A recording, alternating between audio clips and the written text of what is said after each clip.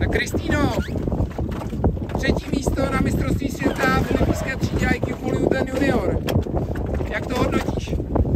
Jo, jsem trochu zklamaná, že jsem mohla být líp, protože teďka jsem byla přes čáru ve finále, kdy se vlastně jela o první tři místa, ale jako třetí místo je dobré.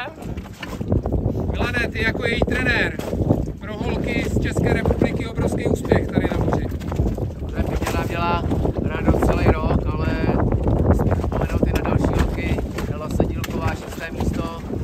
19, Aleš Vojnová 8. místo, 17, David Drda 11. místo, 19 kluci, prostě to je úplně vynikající výsledky, který asi český jako jachting a windsurfing eh, dlouho, dlouho neměl a pravděpodobně dlouho mít nebude. OK, děkujeme, přejeme hodně štěstí. Další